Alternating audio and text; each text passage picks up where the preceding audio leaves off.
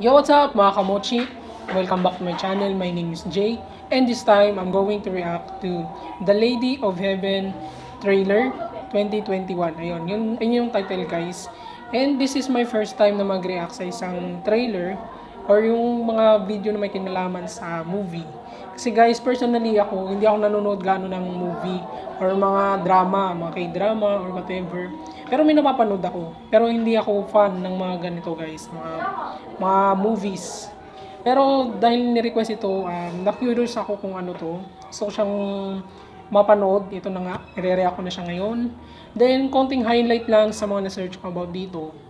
Ito ay about sa, may, may kinalaman siya kay Lady Fatima. Ayun. Isang bata daw na natuto ng um, something. Basta may natutunan siya sa historical story na may kinalaman kay Lady Fatima. So, parang biblical something to guys. And I'm not really sure. Hindi ko alam talaga. Dahil nga first time ko rin talagang maka um, magre-react sa isang trailer ng movie. Kaya, ayun. So, huwag na natin patagalin pa ito at papanoorin ko na itong The Lady of Heaven trailer 2021.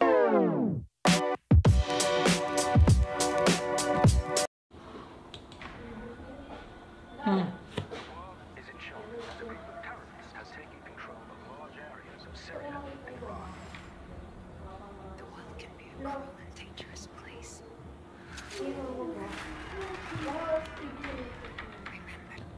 Uy, grabe guys, nakakatakot naman to.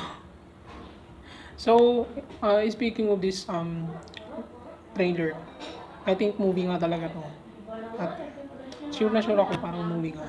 Halata naman, wala naman kanta. And this time, sa ganitong klase ng eksena, ito nga, sa trailer na to. Nangyari na talaga to kasi.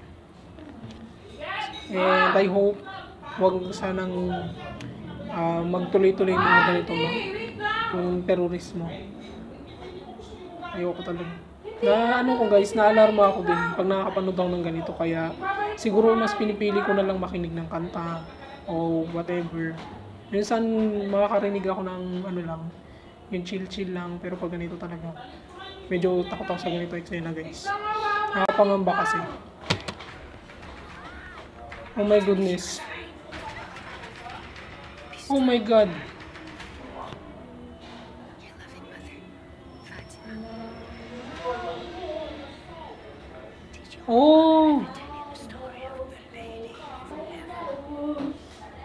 was very special.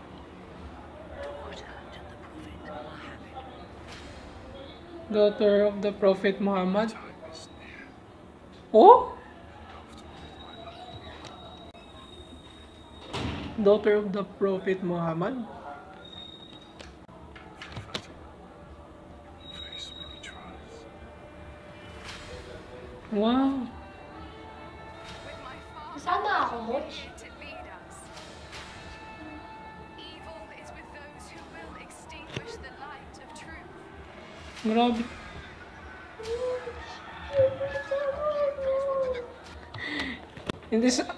case guys, I don't know um, what to react. Hindi ko alam kung uh, mararamdaman ko dito. Oh my gosh. Nakakagusubam siya. Actually, kinikilabutan ako ngayon. hindi ako sa hindi ako hindi, sabi ko sa inyo guys, hindi ako gano'n nanonood ng movie. Then, ito yung usapang ano na to about sa religion na to. Medyo ano kasi ako guys, pagdating talaga sa usapang religion, medyo, ah, ano, tawag nun, hindi ako ganong, um, ang ano bang ano lang. Hindi ako ganun ka ano, kamaalam. So, about sa religion talaga guys. And, it's my first time talaga mag-react sa isang movie. Yun.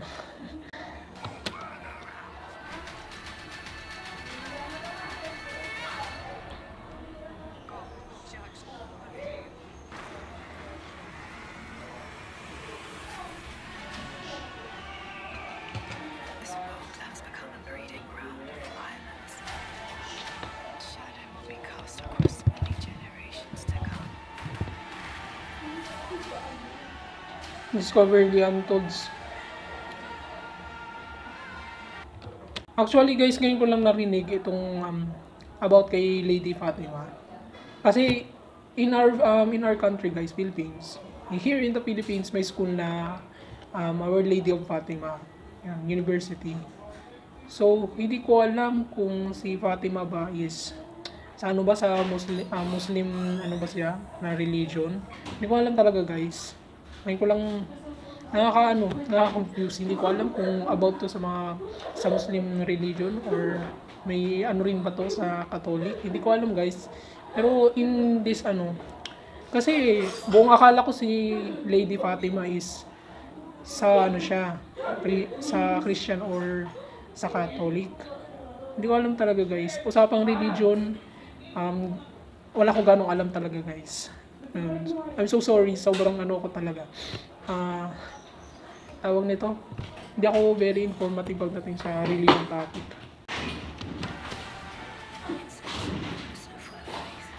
And I'm, I am confused right now.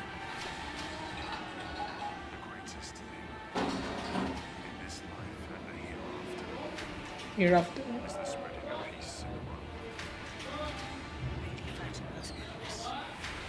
cost. But the setup is in Iraq.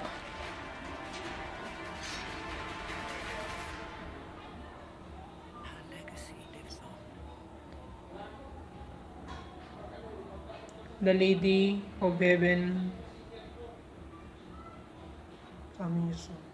I'm sorry talaga kasi hindi ako ganun makarelate kasi pag-usapang religion talaga. Yun, paulit-ulit ko na sinasabi sa inyo guys. Um, medyo hindi talaga ako ano dyan guys. Hindi naman sa hindi ako interesado pero ayun na nga, um, pag-usapang ganyan kasi hindi ako ganun nag-open up or kung ano man. Yun, basta about religion. Yun.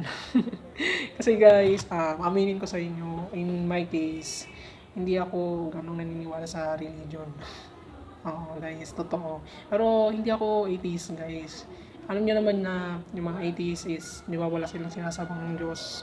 Sila sa, naniniwala sa Diyos. Ako, naniniwala ako sa Diyos pero um, in my case, yun, hindi nga ako ganong naniniwala sa religion.